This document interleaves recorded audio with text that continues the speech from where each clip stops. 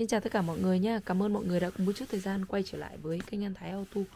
Trong video ngày hôm nay trên tay em đang cầm để giới thiệu tới mọi người một sản phẩm. Đó chính là xi lanh phanh sau bên dưới của Hyundai Gate 1.1 Sản phẩm à, được sản xuất bởi công ty à, TICI của Hàn Quốc này. Đấy, Đây chính là cái xi lanh của nó này. Như à, anh em thợ chúng ta hay gọi là cái à, heo, heo phanh. Đấy. Đó.